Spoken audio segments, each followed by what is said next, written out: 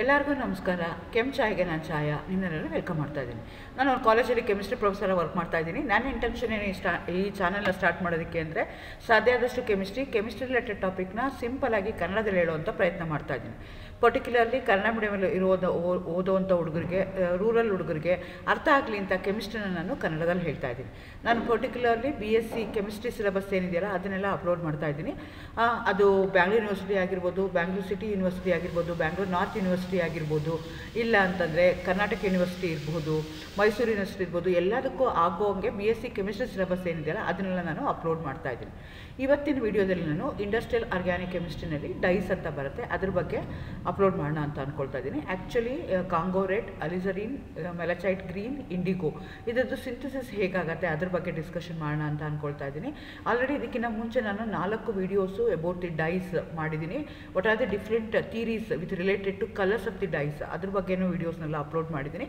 ಇವತ್ತಿನ ವೀಡಿಯೋದಲ್ಲಿ ನಾನು ಸಿಂಥಸಿಸ್ ಆಫ್ ಡೈಸ್ ಬಗ್ಗೆ ಹೇಳ್ತಾ ಇದ್ದೀನಿ. ಎಗೇನ್ ವೆಲ್ಕಮ್ ಟು ಕೆಂಚಾಯ ನನ್ನ ಚಾನಲ್ನ ಸಬ್ಸ್ಕ್ರೈಬ್ ಮಾಡಿ ಶೇರ್ ಮಾಡಿ. ನಿಮಗೆ ಗೊತ್ತು, ನಾವು ಕ್ಲಾಸಿಫಿಕೇಶನ್ ಆಫ್ ದಿ ಡೈಸ್ ಏನು ಮಾಡ್ತೀವಿ ಅಂದರೆ ಅದರಲ್ಲಿರುವಂಥ ಕ್ರೋಮೋಫೋರ್ ಯಾವುದಿದೆ, ಆ ಬೇಸಿಸ್ ಮೇಲೆ ಮಾಡ್ತೀವಿ. ಅಥವಾ method of application on the fibre ಅಥವಾ ಆನ್ ದಿ ಟೆಕ್ಸ್ಟೈಲ್ಸ್ ಇರ್ಬೋದು, ಅಥವಾ ಏರ್ ಇರ್ಬೋದು, ಆ ಪ್ಲಾಸ್ಟಿಕ್ ಮೇಲೆ ಇರ್ಬೋದು, ಆ ಬೇಸಿಸ್ ಮೇಲೆ ಅದನ್ನು ಕ್ಲಾಸಿಫೈ ಮಾಡ್ತೀವಿ. ಕಾಂಗೋ ರೆಡ್ ಅಂತ ನೀವೇನು ಹೇಳ್ತೀರಿ? As a name indicates it will be red in colour so ಅದು ಡೈರೆಕ್ಟ್ ಡೈ ಡೈರೆಕ್ಟ್ ಡೈ ಅಂದರೆ ಹೆಂಗೆ ಮಾಡ್ತೀವಿ ಅಂದರೆ ಮೆಥಡ್ ಆಫ್ ಅಪ್ಲಿಕೇಶನ್ ಅಂದರೆ ಸೊ ಆ ಸೊಲ್ಯೂಷನ್ ಆ ಸಬ್ಸ್ಟೆನ್ಸ್ದು ಸೊಲ್ಯೂಷನ್ನ ತೊಗೊಂಡು, ಆ ಸೊಲ್ಯೂಷನ್ಗಳನ್ನ ನಿಮ್ಮ ಫ್ಯಾಬ್ರಿಕ್ನ ಡೈರೆಕ್ಟಾಗಿ ಹೀಟ್ ಇದು ಮಾಡಿ, ಅದನ್ನು ಒಣಗಿ ಹಾಕ್ತೀವಿ ಡ್ರೈ ಮಾಡ್ತೀವಿ. ಅದಕ್ಕೆ ನಾವು ಡೈರೆಕ್ಟ್ ಡೈ ಅಂತ ಹೇಳ್ತೀವಿ. Congo red is a direct dye actually ಯಾಕೆ ಅದು ಥರ ಆ್ಯಕ್ಟ್ ಮಾಡ್ತಾ ಇದೆ ಅಂದರೆ ಅದರಲ್ಲಿ ಇರೋವಂಥ ಗ್ರೂಪ್ ಯಾವುದು ಅಂದರೆ ಡೈ ಅಜೋ ಗ್ರೂಪ್ ಇರುತ್ತೆ. ಎನ್ ಡಬಲ್ ಬಾಂಡ್ ಎನ್ ಇದ್ದರೆ ಅಂಥದಕ್ಕೆ ನಾವೇನಂತ ಕರಿತೀವಿ? ಅಜೋ ಅಂತ ಹೇಳ್ತೀವಿ. ಇಲ್ಲಿ ಎರಡು ಅಜೋ ಗ್ರೂಪ್ ಇದೆ ಈ ಕಾಂಪೌಂಡಲ್ಲಿ ಹಾಗಾಗಿ ಇದನ್ನು ಡೈ ಅಜೋ ಕಾಂಪೌಂಡ್ ಅಥವಾ ಡೈಯೋಜೋ ಡೈ ಅಂತ ಹೇಳ್ತೀವಿ. ಅಜೋ ಗ್ರೂಪ್ ಇದ್ದರೆ ಎನ್ ಡಬಲ್ ಬಾಂಡ್ ಎನ್ನು ಯೂಶ್ವಲಿ ಯೆಲ್ಲೋ ಕಲರ್ ಇರುತ್ತೆ. ಎರಡು ಇರೋದಕ್ಕೋಸ್ಕರ ಮಚ್ ಮೋರ್ ಕಲರ್ ಆಗುತ್ತೆ. Again the depends upon what are the other groups attach to that azo group. So ಹಾಗಾಗಿ ಅದು ಬೇರೆ ಬೇರೆ ಕಲರ್ಗಳು ಬರ್ತಾ ಹೋಗುತ್ತೆ. ಸೊ ಈ ಕಾಂಗೋ ರೆಡ್ನ ನಾವೇನು ಮಾಡ್ತೀವಿ? ಆಸ್ ಅನ್ ಇಂಡಿಕೇಟರ್ ಯೂಸ್ ಮಾಡ್ತೀವಿ. ಆ್ಯಸಿಡ್ ಬೇಸ್ಡ್ ಡೈಟ್ರೇಷನ್ಗೆ ಮಾಡ್ತೀವಿ. ಆ್ಯಕ್ಚುಲಿ ಅದು ಸ್ಲಿಕ್ ಮೀಡಿಯಮಲ್ಲಿ ಬ್ಲೂ ಕಲರ್ ಇರುತ್ತೆ ಬೇಸಿಕ್ ಮೀಡಿಯಮಲ್ಲಿ ಅದು ರೆಡ್ ಕಲರ್ ಇರುತ್ತೆ. ಇದನ್ನು ಡಿಸ್ಟಿ ವೀಕ್ ಮತ್ತು ಸ್ಟ್ರಾಂಗ್ ಆ್ಯಸಿಡ್ನ ಡಿಸ್ಟಿಂಗ್ವಿಶ್ ಮಾಡೋದಕ್ಕೋಸ್ಕರ ಈ ಇದನ್ನು ಯೂಸ್ ಮಾಡ್ತಾ ಹೋಗ್ತೀವಿ. ಸೊ ಇದನ್ನು ಹೇಗೆ ಪ್ರಿಪೇರ್ ಮಾಡ್ತೀವಿ ನಾವು ಅಂತಂದರೆ, ನೋಡೋದಕ್ಕಷ್ಟೇ ಸ್ಟ್ರಕ್ಚರ್ಸು ತುಂಬ ದೊಡ್ಡ ದೊಡ್ಡದು ಅನಿಸ್ತಾ ಇರುತ್ತೆ. ಆದರೆ it will be very simple so ಹೇಗಿರುತ್ತೆ ಅಂತಂದರೆ, ನೀವು ನೋಡ್ಕೋಬೇಕಾಗತ್ತೆ, ಏನು, ಯಾವುದು ರಿಯಾಕ್ಷನ್ಸ್ ಇರುತ್ತೆ, ಹೇಗಿರುತ್ತೆ ಅಂತ ನೀವು ನೋಡ್ಕೋಬೇಕಾಗತ್ತೆ. ಸೊ ಹೇಗಾಗತ್ತೆ ಇಲ್ಲಿ ಅಂತಂದರೆ, ನಿಮಗೆ diazotisation reaction ಮಾಡಿರ್ತಲ್ಲ in a similar manner here also we are going to do the diazotisation reaction diazotisation reaction ಏನು ಮಾಡ್ತೀವಿ ನಾವು? ಎನ್ ಎನ್ ಒಟುನ ಯೂಸ್ ಮಾಡ್ತೀವಿ. ಅದಕ್ಕೆ ನಾವು ಸಿ ಟು ರಿಯೇಜೆಂಟ್ ಅಂತ ಹೇಳ್ತೀವಿ. ಆ ಯಾಕೆ ಅದನ್ನು ಸಿ ಟು ರಿಯೇಜೆಂಟ್ ಹೇಳ್ತೀವಿ ಅಂತಂದರೆ we cannot store them some reagents in the lab we can store H L ಇರ್ಬೋದು ಎನ್ ಎ ಎಚ್ ಇರ್ಬೋದು ಸಲ್ಫ್ಯೂರಿಕ್ ಆ್ಯಸಿಡ್ ಇರ್ಬೋದು. ಅದನ್ನೆಲ್ಲ ನಾವೇನು ಮಾಡ್ತೀವಿ? ಸೊಲ್ಯೂಷನ್ ಡೈಲ್ಯೂಟ್ ಸೊಲ್ಯೂಷನ್ಸ್ನ ಪ್ರಿಪೇರ್ ಮಾಡಿ ಇಟ್ಟಿರ್ತೀವಿ. ಆದರೆ ಕೆಲವೊಂದು ಸೊಲ್ಯೂಷನ್ಸ್ ಏನಾಗುತ್ತೆ ಅಂದರೆ ವಿ ವೋಂಟ್ ಪ್ರಿಪೇರ್ ನಮಗೆ ಯಾವಾಗ ಬೇಕೋ, ಎಷ್ಟು ಬೇಕೋ ಅಷ್ಟು ಮಾತ್ರ ಪ್ರಿಪೇರ್ ಮಾಡ್ಕೊಳ್ತೀವಲ್ಲ? ಅಂಥ ಸೊಲ್ಯೂಷನ್ಸ್ಗೆ ನಾವು situ reagent S I T U situ reagent ಅಂತ ಹೇಳ್ತೀವಿ. ಫಾರ್ ಎಕ್ಸಾಂಪಲ್ ನಿಮಗೆ ಎನ್ ಎನ್ ಓ ಟು ಬೇಕು ಅಂತಂದರೆ ಅದನ್ನು ನಾವೇನು ಮಾಡ್ತೀವಿ ಅಂತಂದರೆ sorry N N O two plus H L add ಮಾಡಿದಾಗ ಹೆಚ್ ಎನ್ ಓ ಟು ಬರುತ್ತೆ. ಅದಕ್ಕೆ ನಾವು ನೈಟ್ರಸ್ ಆ್ಯಸಿಡ್ ಅಂತ ಹೇಳ್ತೀವಿ. ಸೊ ನೈಟ್ರಸ್ ಆ್ಯಸಿಡ್ ಯೂಸ್ ಮಾಡಿಕೊಂಡು zero to five degree centigrade use ಮಾಡಿದಾಗ ನಿಮ್ಗೆ ಏನಾಗುತ್ತೆ? ಡಯಸ್ಟೈಸೇಷನ್ ರಿಯಾಕ್ಷನ್ ಆಗುತ್ತೆ. ಸೊ ಡಯ ಇಲ್ಲಿ ಏನು ಮಾಡ್ತೀವಿ? Instead of taking a benzene benzene ಬದಲು ನಾವು ಏನು ತೊಗೊಳ್ತಾ ಇದ್ದೀವಿ? ಬೆನ್ಸಡಿನ್ ಅದನ್ನು ತೊಗೊಳ್ತಾ ಇದ್ವಿ. ಅಂದ್ರೇನು ಎರಡು N S two group attach ಆಗಿದೆ. Diphenol compound. ಅದಕ್ಕೆ ಪ್ಯಾರಾ ಪೊಸಿಷನ್ಗೆ ಎರಡು ಗ್ರೂಪು ಅಟ್ಯಾಚ್ ಆಗಿದೆ. ಅದಕ್ಕೆ ಬೆನ್ಸಿಡೀನ್ ಅಂತ ಕರಿತೀವಿ.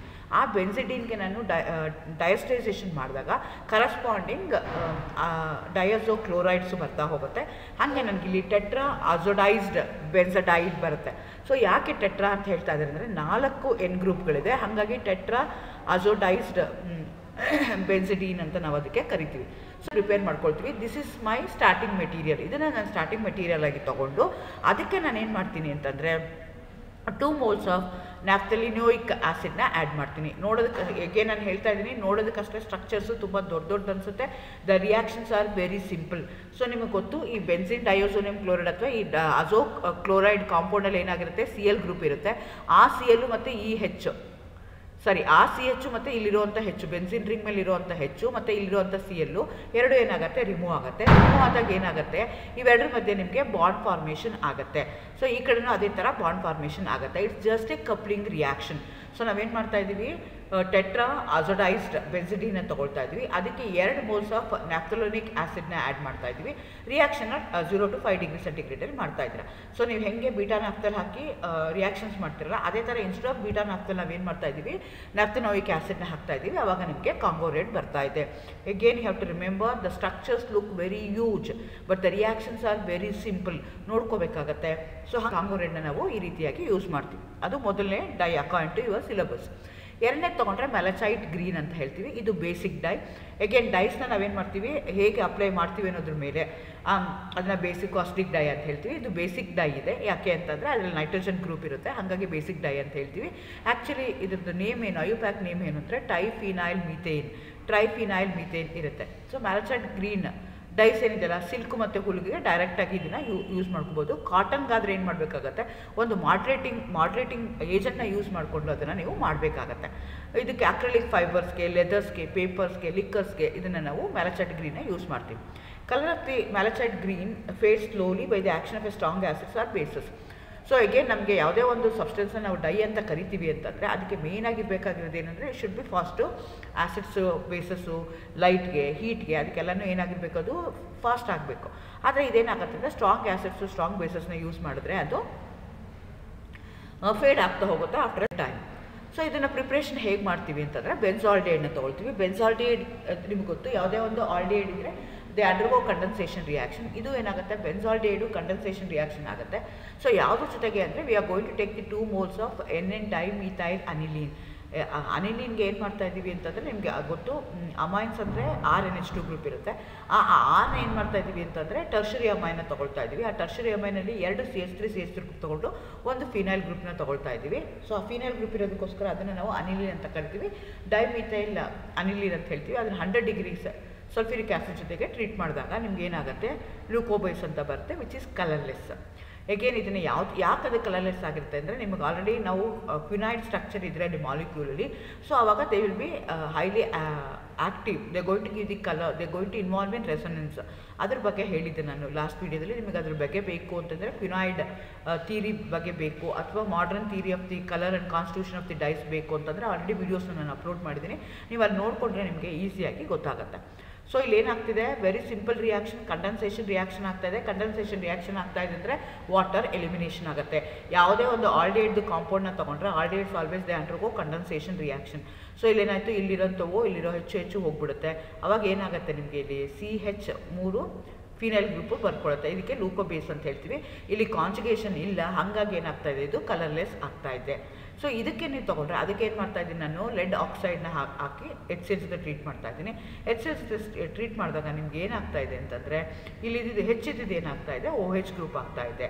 ಸೊ ಇದಕ್ಕೆ ಕಲರ್ ಬಂತು. ಇಲ್ಲಿ ಹೆಚ್ಚಿತ್ತು ಇಲ್ಲಿ ಓ ಎಚ್ ಗ್ರೂಪ್ ಬಂದಿದೆ. ನಿಮಗೆ ಗೊತ್ತು O H group is going to act a chromophore ಹಾಗಾಗಿ ಏನಾಗುತ್ತೆ? ಅಲ್ಲಿ ಕಲರ್ ಬರುತ್ತೆ. ಅದಕ್ಕೆ ಮತ್ತೆ ಹೆಚ್ ಎಲ್ ಹಾಕಿದ ತಕ್ಷಣ ನೀವು ಹೆಚ್ ಎಲ್ ಹಾಕಿದಾಗ ಏನಾಯಿತು? ನಿಮಗೆ ಪ್ಯಾರಾಕ್ವಿನೈಡ್ ಸ್ಟ್ರಕ್ಚರ್ ಬರುತ್ತೆ. Because of that it will be green in colour ಹಾಗಾಗಿ ಇದನ್ನು ಮ್ಯಾಲಚೈಡ್ ಗ್ರೀನ್ ಅಂತ ಹೇಳ್ತಾರೆ. ಎಗೇನ್ ನಮ್ಮ ರಿಪೀಟಿಂಗ್ ಸ್ಟ್ರಕ್ಚರ್ಸ್ ನೋಡೋದಕ್ಕೆ ತುಂಬ ಯೂಸ್ ಅನಿಸುತ್ತೆ. ಅದನ್ನು ನೀವು ಮಾಡೋಕ್ಕೆ ಶುರು ಮಾಡಿದ್ರೆ, ಅರ್ಥ ಮಾಡಿಕೊಂಡ್ರೆ ಈಸಿ ಆಗುತ್ತೆ. Benzaldehydes always they undergo condensation reaction so benzaldehyde ಯಾವ್ದ್ರ ಜೊತೆ ಕಂಡೆನ್ಸೇಷನ್ ಆಗ್ತಾ ಇದೆ? ಎನ್ ಎನ್ ಡೈಮಿಥಲ್ ಅನಿನ್ ಅನಿಲಿನ್ ಜೊತೆ ಕಂಡೆನ್ಸೇಷನ್ ಆಗ್ತಾ ಇದೆ ಕಂಡೆನ್ಸೇಷನ್ ಆಗ್ದಾಗ ಏನಾಯಿತು? ವಾಟರ್ ಬಂತು. ವಾಟರ್ ರಿಮೂವ್ ಆಯಿತು. ಏನೋ ಪ್ರಾಡಕ್ಟ್ ಬಂತು. ಆ ಪ್ರಾಡಕ್ಟ್ಗೆ ನಾನು ಏನು ಮಾಡ್ತಾ ಇದ್ದೀನಿ? ಲೆಡ್ ಆಕ್ಸೈಡು ಮತ್ತು ಹೆಚ್ ಸಿ ಎಲ್ನ ಹಾಕ್ತಾ ಇದ್ದೀನಿ. ಅವಾಗ ಏನಾಗ್ತಾ ಇತ್ತು? ಹೆಚ್ಚಿದ್ದು ಏನಾಯಿತು? ಓ ಹೆಚ್ ಆಗಿ ಕನ್ವರ್ಟ್ ಆಯಿತು. ಅದಕ್ಕೆ ಮತ್ತೆ ಹೆಚ್ ಸಿ ಎಲ್ ಹಾಕ್ತೆ ಕ್ಯುನೈಟ್ ಸ್ಟ್ರಕ್ಚರ್ ಬಂತು. That will be green dye ಇರುತ್ತೆ. ಆ ನಾವು ಮ್ಯಾಲಚೈಟ್ ಗ್ರೀನ್ ಅಂತ ಕರಿತೀವಿ. ಇದು ಎರಡನೇ ಕಾಂಪೌಂಡ್ ಆಯಿತು. ಮೂರನೇ ಕಾಂಪೌಂಡ್ ತೊಗೊಂಡ್ರೆ ಅಲಿಸರೀನ್ ಅಂತ ಹೇಳ್ತೀವಿ one two dihydroxy anthraquinone ಅಂತ ಹೇಳ್ತೀವಿ ಇದಕ್ಕೆ ಮಾಡ್ರನ್ ಡೈ ಅಂತ ಹೇಳ್ತೀವಿ ಯಾವುದನ್ನು ನಾವು ಮಾಡ್ರನ್ ಡೈ ಅಂತ ಹೇಳ್ತೀವಿ ಅಂದರೆ some substances they cannot itself they cannot use thus a dye so they we have to take the another third substance so that going to make your compound usually your dye will be insoluble in water in order to make your compound soluble in water we are going to take another uh, compound, third compound, that co- third compound we are going to call it as the moderate dye. So usually ಇದು anthraquinoid ಇರುತ್ತೆ. ನಿಮ್ಗೆ already ಹೇಳಿದ್ದೀನಿ ಕ್ವಿನಾಯ್ಡ್ theory ಪ್ರಕಾರ quinoids ಇತ್ತು ಅಂತಂದರೆ they going to act as a auxo chromophores therefore they will be highly coloured in nature so ಆ ರೀತಿಯಾಗಿರುತ್ತೆ ಇಲ್ಲಿ ಆಂಥ್ರಾಕ್ವಿನೋನ್ ಇದೆ. ಆಂಥ್ರಾಕ್ವಿನೋನ್ ಅಂತ ಏನು ಹೇಳ್ತೀವಿ ಅಂದರೆ ಮೂರು benzene ring if they are ortho to each other ಅವಾಗ ಅದನ್ನು ನಾವು ಆಂಥ್ರಾಕ್ವಿನೋನ್ ಅಂತ ಹೇಳ್ತೀವಿ. ಅದರಲ್ಲಿ ಮಧ್ಯದಕ್ಕೆ ನಿಮಗೆ ಕ್ವಿನಾಯ್ಡ್ ಸ್ಟ್ರಕ್ಚರ್ ಬಂದಿದೆ. ಹಂಗಾಗಿ ಇದನ್ನು ಆಂಥ್ರಾಕ್ವಿನಾಯ್ಡ್ ಅಂತ ಹೇಳ್ತೀವಿ. So it is a splendid colour alizarin occurs in nature as a gluco glucoside in the roots of the madder plant alizarin exist as a yellow flakes and in aqueous alkali gives the violet colour so again ಇದು ಆ್ಯಸಿಡಲ್ಲಿ ಒಂದು colour ಕೊಡ್ತಾ ಇರುತ್ತೆ ಬೇಸಲ್ಲಿ ಒಂದು colour ಕೊಡ್ತಾ ಹೋಗುತ್ತೆ. ಏಕೆ, ನಾನು ಮುಂಚೆನೇ ಹೇಳ್ದಂಗೆ ಇಟ್ಸ್ ಅ ಮಾಡ್ರನ್ ಡೈ ನಾವು ಥರ್ಡ್ ಸಬ್ಸ್ಟೆನ್ಸ್ನ ಆ್ಯಡ್ ಮಾಡ್ತೀವಿ. ಸೊ ಬೇರೆ ಬೇರೆ ಸಬ್ಸ್ಟೆನ್ಸ್ನ ಆ್ಯಡ್ ಮಾಡ್ದಂಗೆ, ಬೇರೆ ಬೇರೆ ಮಾಡ್ರೆಂಟ್ಗಳನ್ನ ಯೂಸ್ ಮಾಡ್ದಂಗೆ ನನಗೆ ಬೇರೆ ಬೇರೆ ಕಲರ್ಗಳು ಬರ್ತಾ ಹೋಗುತ್ತೆ.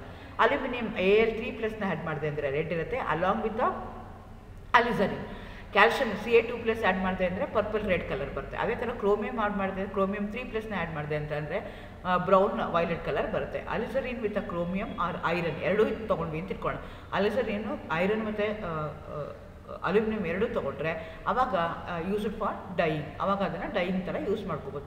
Printing cotton while aluminium and chromium moderate ಏನಾದ್ರು ಯೂಸ್ ಮಾಡಿದ್ರೆ dyeing for wood so this can be used as a dye for wool and cotton ಕಾಟನ್ಗಾದರೆ ಏನು ಮಾಡಬೇಕು? ಅಲಿಸೋದ್ರ ಜೊತೆಗೆ ಅಲ್ಯೂಮಿನಿಯಮು, ಐರ್, ಐರನ್ನ ನಾವು ಮಾಡ್ರೇಟಾಗಿ ಯೂಸ್ ಮಾಡಬೇಕಾಗತ್ತೆ. ಅದೇ ಥರ ನಿಮ್ಗೆ ಉಳ್ಳಕ್ಕೆ ಬೇಕು ಅಂತಂದರೆ ಅಲ್ಯೂಮಿನಿಯಂ ಜೊತೆಗೆ ನೀವೇನು ಮಾಡ್ತೀರಾ? ಕ್ರೋಮಿಯಂನ ಹಾಕ್ಕೊಂಡು ಯೂಸ್ ಮಾಡ್ತೀರಾ. ಸೊ ಮಾಡ್ರೆಂಟ್ನ ಬೇಕು ಅಂತ ನಾವು ಮಾಡ್ರೆಂಟ್ ಅಂತ ಹೇಳ್ತೀವಿ. ಈ ಸಿಂಥಿಸಿಸಲ್ಲಿ ಏನಾಗುತ್ತೆ ಅಂದರೆ ಸಿಂಥಿಸಿಸ್ ಆಫ್ ದಿ ಅಲಿಸಿರಿನ್ ತೊಗೊಂಡ್ರೆ ಫಸ್ಟ್ ಏನು ಮಾಡ್ತೀವಿ ನಾವು ಅಂದರೆ ಆಂಥ್ರಸಿನ್ನ ತೊಗೊಂಡು that will be starting material ಆಂಥ್ರಸೈಡ್ಗೆ ಏನು ಮಾಡ್ತೀವಿ ಪೊಟ್ಯಾಷಿಯಂ ಡೈಕ್ರೋಮೇಟ್ ಹಾಕೊಂಡು ಆಕ್ಸಿಡೇಷನ್ ಮಾಡ್ತೀವಿ ಆಂಥ್ರಕ್ವಿನೋನ್ ಬರುತ್ತೆ. ಆಂಥ್ರಕ್ವಿನೋನ್ಗೆ ಸಲ್ಫನೇಷನ್ ಮಾಡ್ತೀವಿ using concentrated sulphuric acid or fuming sulphuric acid at a high temperature ಅದನ್ನು ಏನು ಮಾಡ್ತೀವಿ ಸೋಡಿಯಂ ಕಾರ್ಬೊನೇಟ್ ಜೊತೆಗೆ ಟ್ರೀಟ್ ಮಾಡ್ತೀವಿ. ಆವಾಗ ನಮಗೆ ಆಂಥ್ರಕ್ವಿನೋನ್ ಟು ಸಲ್ಫೋನಿಕ್ ಆಸಿಡ್ ಬರುತ್ತೆ. ಅದನ್ನು ನಾನು ಏನು ಮಾಡ್ತೀನಿ ಸೋಡಿಯಂ ಹೈಡ್ರಾಕ್ಸೈಡ್ ಮತ್ತು ಪೊಟ್ಯಾಷಿಯಂ ಕ್ರೋಮೇಟ್ ಕ್ಲೋರೈಡ್ ಜೊತೆಗೆ ಹಾಕಿದಾಗ ನನಗೇನಾಗುತ್ತೆ ಡೈಸೋಡಿಯಂ ಸಾಲ್ಟ್ ಆಫ್ ಅಲಿಸರಿನ್ ಬರುತ್ತೆ. ಅದನ್ನು ಹೈಡ್ರಾಲಿಸಿಸ್ ಮಾಡಿದ್ರೆ ಅಲಿಸರಿನ್ ಬರುತ್ತೆ.